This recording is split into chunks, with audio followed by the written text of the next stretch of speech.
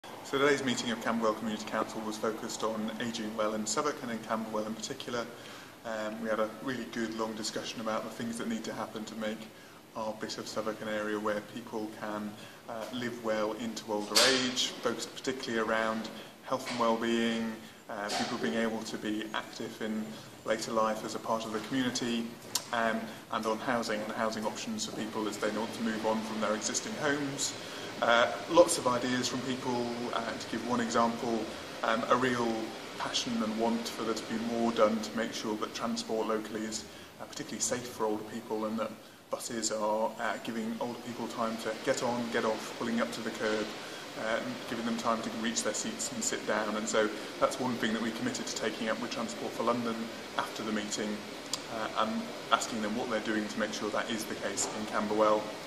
Uh, so that was the main theme. In addition to that, we also uh, had made decisions today about our awards for the Neighbourhoods Fund uh, and the Cleaner, Greener, Safer Fund, giving out grants across the Camberwell area uh, for people to run activities, um, build and put in place new facilities uh, for Camberwell. So a great meeting, really enjoyed it um, and uh, hope uh, we have some really positive actions coming out of it for the future.